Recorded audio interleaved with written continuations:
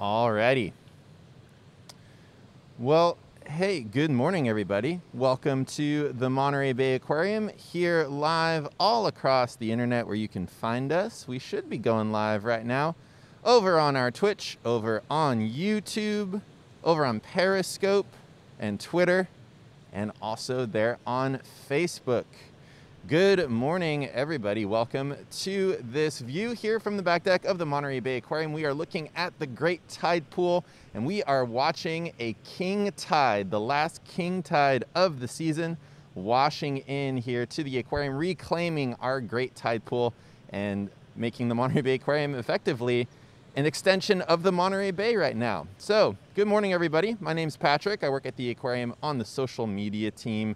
And uh, yeah, joining you live right now here from the back deck for one of those king tides. We were live a little bit earlier in the year, or well, I guess late last year, uh, a few months ago, when we had some of these king tides rolling through. The king tides, for those of you who are not familiar, are the largest tidal swings of the year here in our area. It's not really a scientific term, it's more a description of these are the rulers of all the tides. The highest tides, the lowest tides are happening right now, and this is going to be the last little bit here of the king tides for the season, and we'll be seeing you again in November and December for the next set of king tides. They tend to happen here in the winter time here in California along the central coast.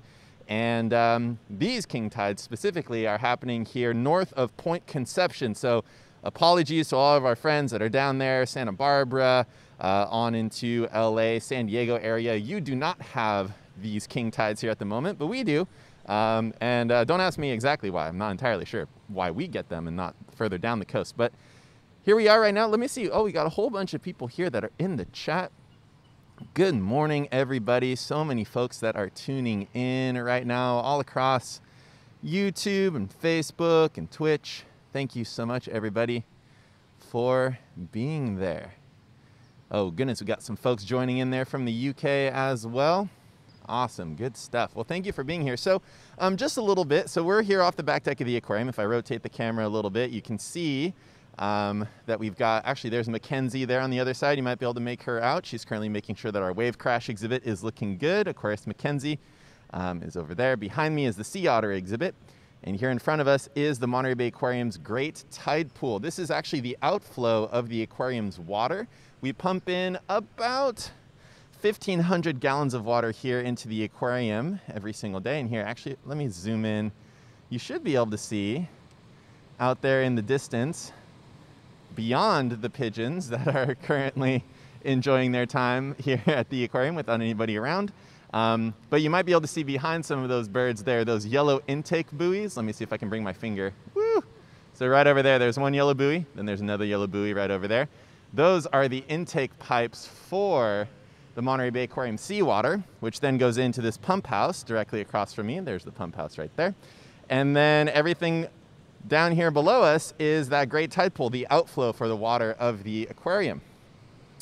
And the outflow of the aquarium water usually is pouring out from this great tide pool and rejoining the ocean. But right now what we're looking at, and actually it is 8.53, I believe 8.54 was our time for the highest tide, that actual king tide happening right now, where the ocean level is 6.7 feet above the zero tide line, the mean tide line. Now, a high tide in this area is around five and a half feet. Um, so a couple, less than two meters, but you know, quite, quite substantial amount of, of rise there.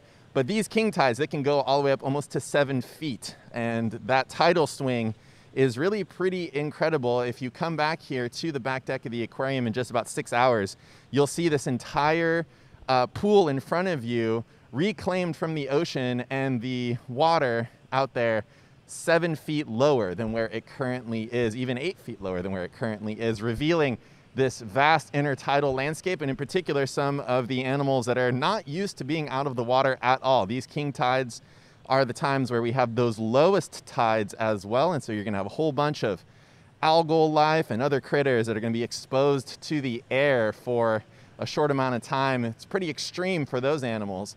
And then, of course, the rest of the intertidal animals are completely submerged if they're not used to being underwater. So those extreme animals that are living there and, and, and algae and other organisms that are living there in that intertidal, this is some of their biggest testing. This is some of the most extreme conditions that they're going to face throughout the year because some of the animals that are more land animals than they are aquatic are going to be covered by the ocean. Some of the animals that are far more aquatic than they are terrestrial are going to be revealed to the air and all those complications there. So pretty extreme right now. If you have any friends that are, you know, hermit crabs in the intertidal zone, uh, check in on them. They're going through a lot today. So, oh, let me see here. I'm Gonna go and see what we've got questions in the chat. Oh, what are the stairs used for? So those stairs, your boy Splendens over there on Twitch, uh, those are the stairs that we would use to access the Great Tide Pool, not only for maintenance, but also during the summertime for our Underwater Explorers program, where kids 8 to 13 can come directly off of Cannery Row, put on a dry suit, and go and snorkel scuba here in the tide pool. Thankfully, we don't have the king tides during the summertime.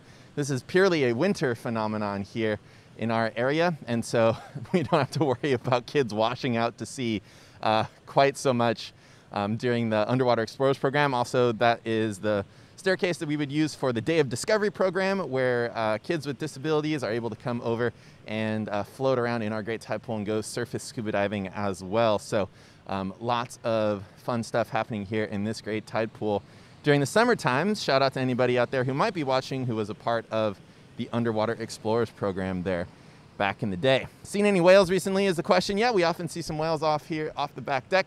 Um, oh, a sea lion actually just went by. Um, not a whale, but a fun marine mammal sighting there. And uh, yeah, we've seen some gray whales go by. We've seen humpback, blue whales from the back deck of the aquarium. So a whole lot of fun there. Um, for those of you who are wondering, no, no updates on when we're going to be reopening. We take our cues from the state and the county. So a lot of things have to go very well when it comes to the coronavirus here and how we're responding to that and vaccinations, all that stuff. So no, no firm timeline, but hey, if you give us a follow, give us a subscribe, uh, you'll be able to find out when we let everybody know on our social media feeds. Um, okay, yes, so questions here. What causes the king tides? Well, we're currently looking at a really amazing situation. So what I didn't really know before I started looking into the king tides is kind of how like the tides generally work. So if you think about the tides, they're caused by the moon and the sun all working together to pull on the oceans, to pull on uh, their, their combined gravity is pulling on that ocean. So the moon is really the most responsible for uh, the tides that we have in our, in, on our planet because even though the moon is incredibly small compared to the sun, it's a lot closer to the earth. So the moon's gravity is what's tugging on the ocean all the time, and the sun is also involved in that.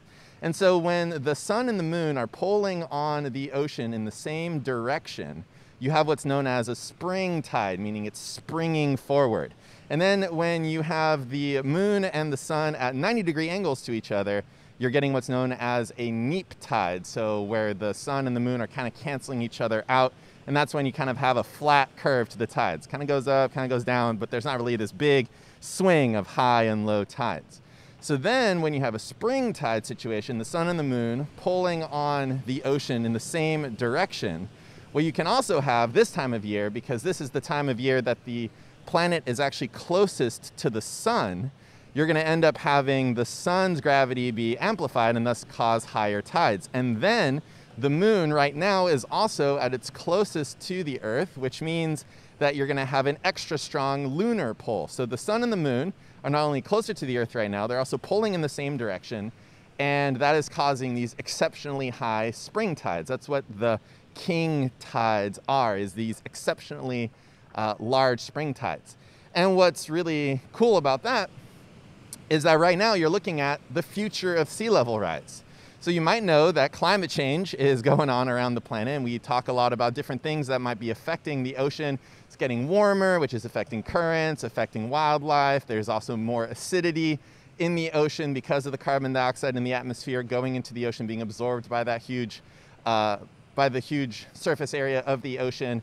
That's causing the ocean to be more acidic. But one of the things you maybe haven't thought too much about, and something that I certainly was learning a lot more about, is that when you heat up the ocean, it's going to expand. As you know, if you heat something up, it's going to expand in volume. And so when you heat up water, it does expand in volume. And if you heat up the ocean, which is the largest feature on our planet, even just a few millimeters here and there across the entire ocean basin ends up resulting in a pretty significant rise of sea level. So this right now is an exceptionally high tide, but think about this view right now as being your average high tide going forward, your standard eh, three and a half foot. Oh, it's kind of high tide, not really high tide. It's, it's, it's, it's a fine tide. This king tide basically will get demoted to a peasant tide. Is that the, is that the term? A plebeian tide? Don't quote me on that. I, I don't know. We'll have to, we'll have to come up with, uh, have to come up with what the demotion there ends up being for the king tide. But you're looking at right now the future of the coastline here under sea level rise. Obviously, here at the Monterey Bay Aquarium, we're right there on the ocean, so this is really concerning uh, for all of us here at the aquarium thinking about what does our what does our aquarium look like going forward as the sea level is rising. And then we also got to be thinking about okay, imagine this high tide and then you have the huge storms that we've been having with maybe an extra 10 foot storm surge. Well, the aquarium would start having the water lapping into the exhibit hall. So think about what you're looking at right now as a really cool natural event, but also you're looking at the future of your average high tide under sea level rise. And that's where you folks all come in. If you are heading over to the California coast during any king tide event, you happen to snap that photo of that coastline, you can upload it to the California King Tides project. You can also tag it hashtag King Tides, and that'll help the California Coastal Commission get a whole bunch of information about what those high tides and then therefore the future of our coastline is looking like. So that's what we're doing here at the aquarium today. We're showing you off that amazing high tide, this king tide that occurs right now but we're also thinking, okay, what if this is the future of our back deck? What does that look like for the aquarium? What do we have to think about going forward? Might change some things with underwater explorers, might change a few things about our intake pipes, about our about our amphitheater here. So anyway, lots to think about there with the king tides. All right. Well, let me see. I've been talking a long time, not looking at the questions. Let me dive back in here and see what the folks are asking about. Uh, let's see. Um, is the aquarium still allowing volunteers to help in the future? Absolutely. Right now, we've got a little bit of a smaller crew here to keep uh, make sure everyone's uh, staying safe out here. Um, we got something interesting going on over on the other side. Looks like a, a gull was taking a bath and maybe grabbed a little bit of food over there. Interesting. Um, so how often does this king tide happen in the winter? Daily, weekly? Happens monthly, so the moon is kind of largely responsible for that. So head over to the California King Tides Project website. You'll find out more about the king tides that are happening in your area going forward. So uh, usually happens in November, December, and January here at the at the aquarium.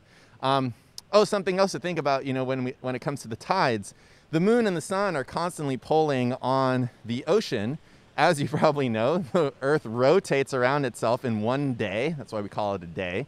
But the moon rotates around the Earth in about 28 days. So that means that the moon is moving a lot slower than the Earth is spinning. And that's important because the moon is pulling on that oceanic bulge. It's creating this huge standing wave between itself and the Earth, and the sun is doing the same thing. So the Earth is actually spinning through this tidal bulge, which is why we end up having in our area two high tides two low tides happening there because the Earth is spinning. And as we arrive into the bulge, the tide comes in. And as we rotate out of the bulge, the tide goes out. But you can kind of think of we're arriving at the tide and then we're leaving the tide. We're leaving it behind as we keep spinning through it. So that's why you end up having those two high tides, two low tides that are occurring uh, in our area is that the tide is kind of this standing mass of water that the Earth spins through. Kind of a fun thing to think about. So, right now, as we're hurtling through space, rotating around ourselves, we are currently in the lunar bulge. There we go. All right. Well, hey, with that, everybody, that's pretty much all we had to had to point out here at the at the aquarium for today. This is the king tide. This is the highest high tide of the year. You're looking at the future of sea level rise here in front of you. And with that, I'm going to sign off. We've got a few low battery warnings that are happening. Not exactly sure why, but we're going to sign off for right now. Thanks so much for watching, everybody. And uh, we hope to see you again soon in person at the Monterey Bay Aquarium whenever we can safely reopen and hope that your friends and family are staying safe out there. They're taking care of yourself and hope you enjoy taking a look at the king tides. And if you're down by the coast today, snap that photo, hashtag king tides, go to the California King Tides Project and upload it. Help us visualize the future of our coastline with climate change. With that, everybody, my name is Patrick. Thanks for watching, and we will see you again soon at the Monterey Bay Aquarium. Thanks, everybody.